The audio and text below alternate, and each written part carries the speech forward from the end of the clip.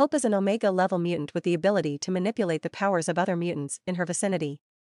She can copy the powers of nearby mutants without physical contact and utilize them immediately, at full capacity, with complete control. There's no known limit to the number of powers she can copy, but wielding multiple powers simultaneously is taxing.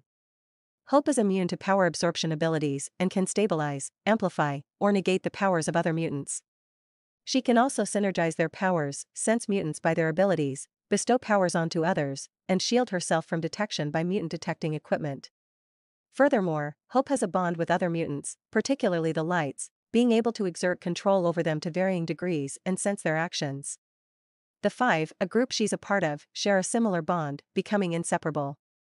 In addition to her mutant abilities, Hope has received training in combat, survival techniques, firearms, blades, stealth, first aid, and warfare strategy from Cable and Cyclops.